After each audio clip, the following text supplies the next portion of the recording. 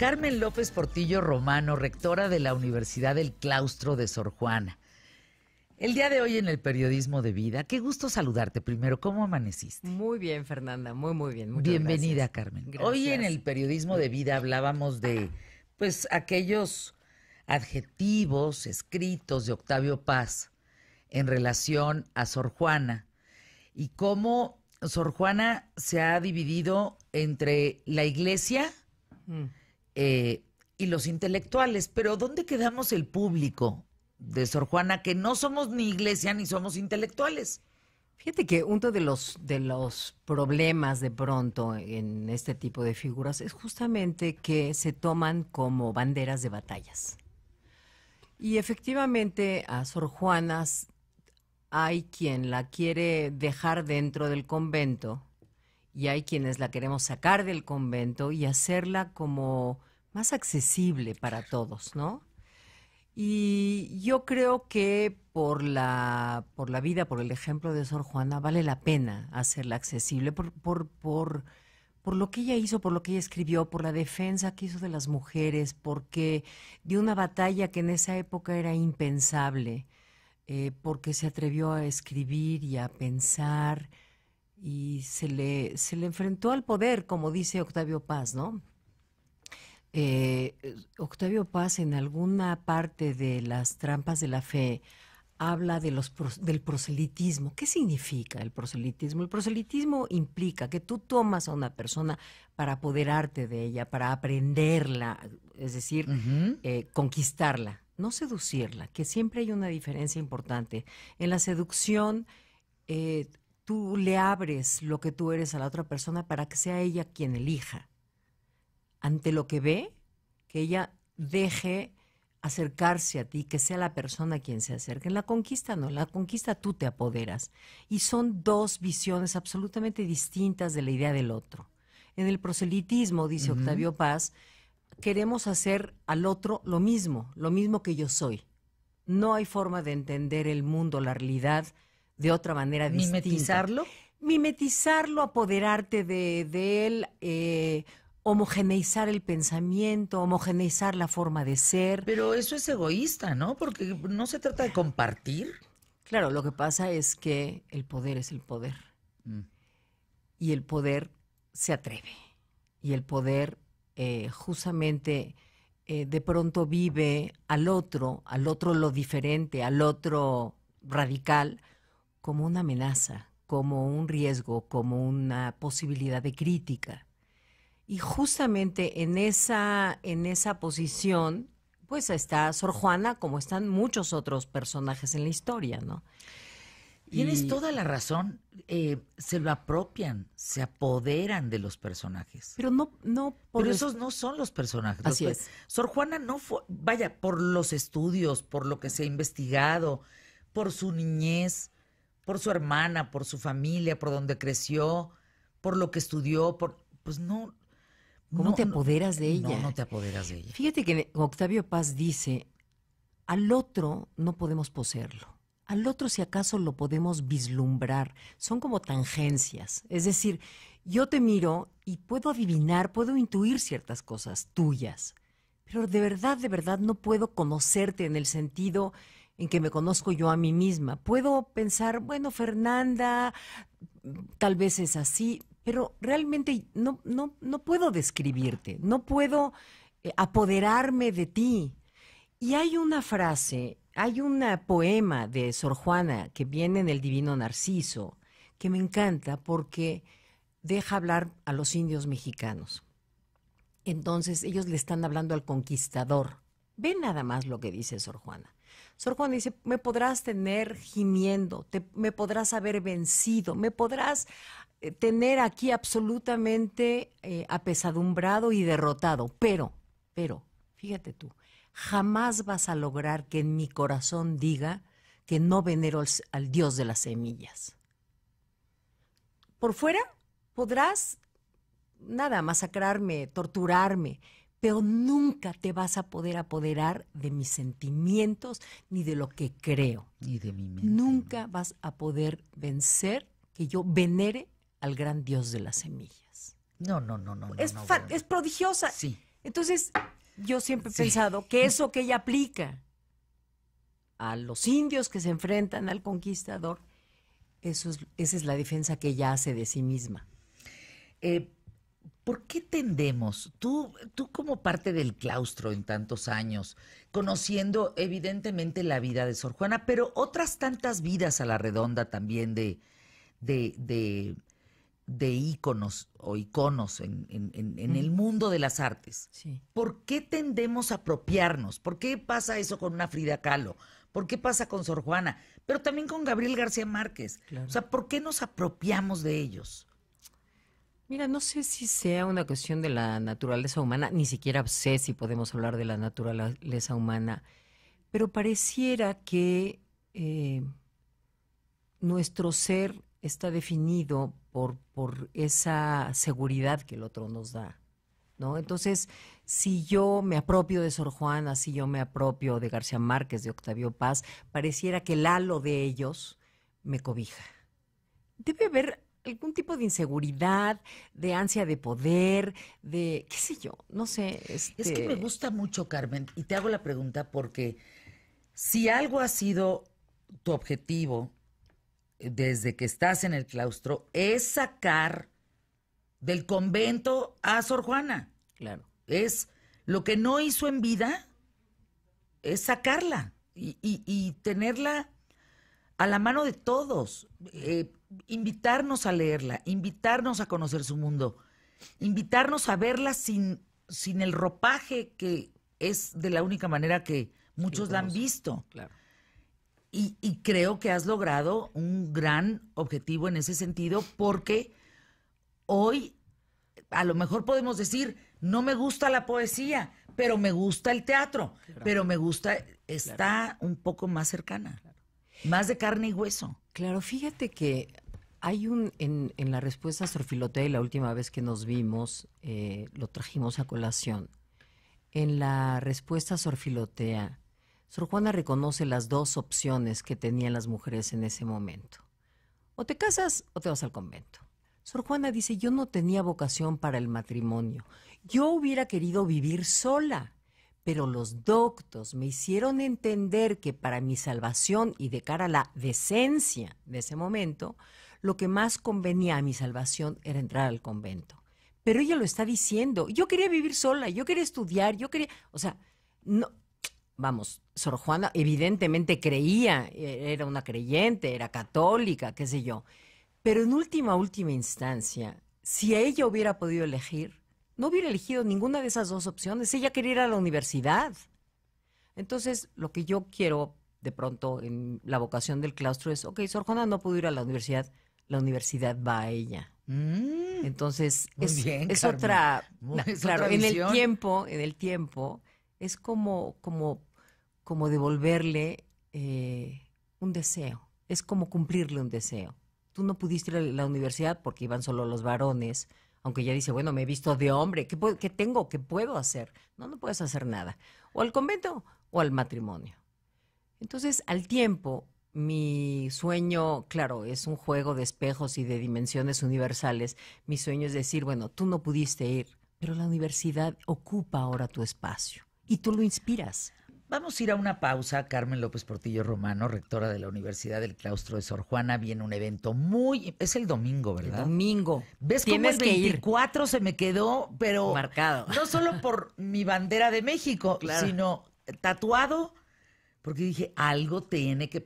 Claro, es, es, viene un evento interesantísimo que ahorita vamos a platicar eh, después de esta pausa, pero el otro día no, no, es, no es menor lo que voy a plantear, Carmen, para tu respuesta regresando de, los patrocinadores. El otro día me topé con una monjita, una monja, ¿no? Y, me di cuenta que hace mucho tiempo no veía una monja. Mm. Como antes. Antes se veían más monjas. no? Y entonces me sorprendió porque fue como, ¡ay! Una monja. Y entonces pensé en el estereotipo de las monjas. Mm en, ese resguardo, en ese amor a Dios, en esa entrega, en ese silencio, en ese acompañar, en fin. Pero creo que hay una monja que rompió con todo ese estereotipo y fue justamente Sor Juana. Porque seguramente muchas monjas son más parecidas a Sor Juana. Claro. En su interior, en su intelecto, en sus cuestionamientos, en el conocimiento, en el criterio, en la imaginación, que aquellas que han pertenecido a este esquema de ser monja es en este cuadro. Hasta aquí. Así es. Con eso volvemos aquí. ¿Qué tal, Fernanda? López Portillo Romano, rectora de la Universidad del Claustro de Sor Juana. Antes de hablar del eventazo del, del, domingo que lo hemos esperado con muchas ganas y además admirándote y felicitándote por hacer esto por México y por Sor Juana y por el claustro y por esto que te digo, la gente que somos de a pie, que no somos ni intelectuales ni tampoco pertenecemos al, al poder de la iglesia, pues acercarnos a Sor, a Sor Juana. Pero te decía previo al, corte que pues ya no se ven muchas monjas y cuando me encontré con esta dije, mm, ¿no será ella este no estereotipo y será como Sor Juana? Claro. Sor Juana, a ver, Sor Juana, eh, la forma en que ella sale del convento es a través de la lectura y de la escritura. Y había mucha gente que la iba a ver al convento. Eh, la relación de Sor Juana con el mundo se da a través de la palabra. Y yo te puedo afirmar que Sor Juana leyó eh, a Platón, a Aristóteles, a los padres de la iglesia. Yo estoy segura incluso que leyó a Descartes. Entonces, la forma en que ella se acerca a la realidad es a través justamente del mundo de la, de la palabra, ¿no?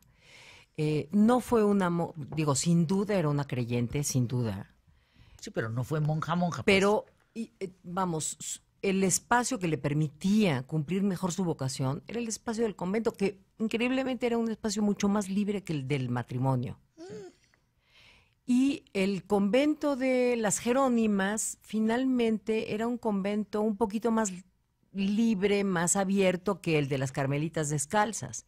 Vamos, Sor Juana, eh, en, el momento de la profesión, eh, Sor Juana jura cuatro votos pobreza, castidad, obediencia y clausura. Sor Juana no volvió a salir. El último día que ella sale es el 23 de febrero. No vuelve a salir. No vuelve a salir. Es un día libre que tiene para despedirse del mundo. Porque se decía que ellas mueren al mundo y ese día ella hace su testamento y lo firma. Porque si mueres al mundo, todos tus bienes terrenales pues quedan en, para alguien más o para tu o para tu orden o para tu familia. ¿A quién hereda, Carmen? En realidad, Sor Juana no tiene demasiados bienes. Eh, incluso eh, le paga un pariente la dote para entrar al convento, porque tú necesitas. Era, era muy costoso entrar al convento, porque necesitabas la renta, comprar la celda, el hábito que era carísimo, ¿no? Todo, todo el atuendo, todo era muy, muy caro. Entonces, había distintos tipos de conventos. Eh, unos eran de niñas criollas, otros de mestizas, en fin, había, por ejemplo, estaba yo leyendo alguna vez el caso de una chica que quiere entrar a un convento en Querétaro, por ejemplo, y las hermanas mismas no la, no la permiten la entrada porque era castiza, es decir, tenía un abuelo indio y se oponen a que ella entre al convento por ese solo hecho. Entonces, se requería una cuestión social, ¿no? De, nacimiento y otra cuestión de recursos. Y Sor Juana eh, fue eh, apoyada fue apoyada por un pariente de Yucatán, por cierto, que le eh, paga los tres mil pesos de dote para entrar. Es fantástico. Claro, y y eso le permite a Sor Juana tener acceso a libros, tener acceso, además le empiezan a regalar libros y instrumentos musicales, instrumentos astronómicos. Tiene una celda pues amplia. En la, en la parte de abajo vive la, la esclava que la madre le regala al, día siguiente de su profesión de fe. En fin, ¿qué, te digo? Muy interesante. Ahora, eh, la herencia que ella deja al mundo es también una parte muy mística. Claro. ¿De dónde viene esa parte? ¿Es por este estereotipo de una monja que piensa? perdón, no, no, estoy, no estoy ofendiendo a nadie. El estereotipo es entregada a la vida del Señor, pero ella no. Claro. Es decir, ella ocupaba el espacio del convento para poder estudiar. Claro. Fíjate, en algún momento, cuando, cuando después de la carta tenagórica, en donde ella cuestiona el sermón del padre Vieira, eh, se le cuestiona, ¿no? ¿Cómo es posible que una monja, bueno, mujer, eh, se haya atrevido a, siquiera citar este sermón del padre? Y Sor Juana lo que hace eh, finalmente es esa, esa defensa de la, de la libertad, ¿no? Su legado en última instancia queda planteado en la respuesta a, a Sor Filotea y su legado es pues sí, sí se sale del estereotipo, aunque he de decirte que hay muchos documentos muy interesantes, no solamente de monjas mexicanas, sino de monjas en España, en Portugal, que en donde eh, tú puedes leer sus autobiografías. Hay textos prodigiosos, de verdad maravillosos, que dan testimonio, porque uno dice, bueno, se la pasaban rezando. No, eh, eh, ellas podían eh, desarrollarse de distinta manera. Claro, el confesor era el que iba guiando esta, esta digamos, esta escritura, ¿no? Estaba la priora, por supuesto, pero estaba el vicario. El vicario era el que iba, los capellanos o los confesores, ¿no? Núñez de Miranda tiene una relación tórrida con Sor Juana. Hay una es el confesor de Sor El confesor de Sor Juana que va a estar el domingo. A ver, no, no, no, espérate. Va a estar el domingo. A, cuéntanos el domingo. A ver, el domingo. Apunten, por favor, es un evento increíble. Va a estar padrísimo. Te cuento, a ver, hace 350 años, un domingo, fíjate que los domingos marcan la vida de Sor Juana. Ella entra a las Carmelitas un domingo, entra al, profesa fe, su fe en domingo, nace en domingo y muere en domingo. O sea, algo pasa. Bueno, el 24 de febrero, que era domingo de 1669, hace 350 años, Sor Juana hace su profesión de fe. Ella ya había entrado al convento de, San Jerónimo un año antes, como novicia. Y durante todo ese año, pues se pone a prueba a ver si, si tiene los, las características, los dotes para, para ser una, una monja profesora, una monja de velo negro. El caso es que ya lo solicita y em, paga la dote, en fin, todo lo que sabemos.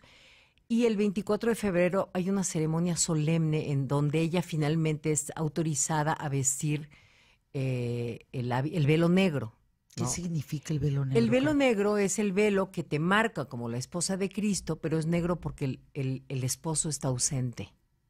Entonces son monjas de velo negro, las esposas de Cristo, pero como, como él, el Señor, está ausente, eh, llevan este, este, este velo negro.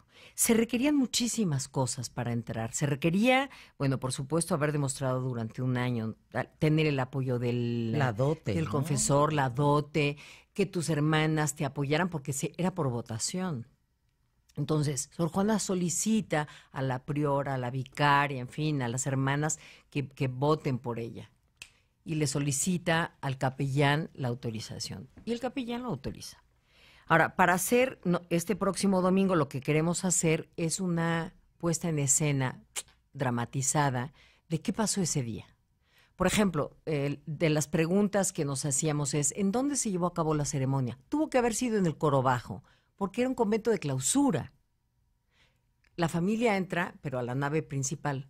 En este caso no lo podemos hacer en el coro bajo porque no cabríamos. Entonces, vamos a hacer esta dramatización en, la nave eh, principal del, del ex templo. Entonces va a haber monjas vestidas con los hábitos jerónimos. Ay, no, qué belleza. fíjate, eh, investigamos. Y dices que ve el, el, ¿Cómo? No, em, fíjate, investigamos tengo los nombres de las 86 monjas que estaban con Sor Juana. La, investigadora, eh, la doctora Sara Pot hizo la investigación, entonces te dice los nombres de las todo, todo. Mira, es toda la ceremonia. ¿Qué se dijo? ¿Qué música se tocaba? Porque se tocaba música distinta si era eh, virgen, si era doncella o si era una mujer casada o viuda que entraba al convento.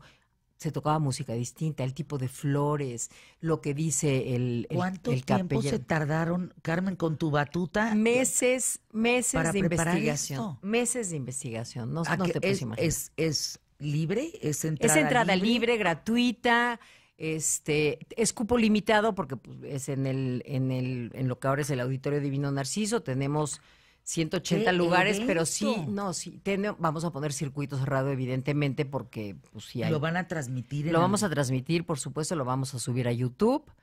eh, y No, eso hay que verlo. Sí, sí vale la pena ¿Y porque horario? una de la tarde. Este evento está dedicado a Carlos Arriaga. Carlos Arriaga es un sorjuanista que fue el director del Museo de Nepantla y murió hace unos meses. Es el padre de, de Patricia Arriaga, la que hizo la serie de Sor Juana, y de Guillermo Y Arriaga. De Guillermo Arriaga, por Entonces supuesto. estamos dedicando eh, esta, esta ceremonia a don Estarán Carlos. ellos ahí, me Claro, ellos van a estar acá. Eh, ese día tenemos una súper noticia que estoy a medio minuto de decírtela, no, no, pero no, va. no, no, no, se se ceba, se. Este, No se una ceba. súper, súper noticia. Ese día vas a dar- Ese día voy a dar esa noticia. Es una muy buena noticia para, para nosotros, para el claustro. Este, ¿Va a ser apoyado en esta administración, el claustro? eh, espero que sí, no, pero la noticia va por más, más un reconocimiento que Ah, Ajá. Este, vas a ver. Tú vas a ver qué padre. Y eh, bueno, esta es una actividad, como todas las artísticas y culturales que hacemos, una actividad gratuita, abierta al público, a la una de la tarde, en el claustro. en el claustro Izazaga 92, Centro Histórico. Carmen, No se lo pueden perder. De verdad te felicito públicamente. Ay, qué linda, Fernanda. No, no, oye, qué labor.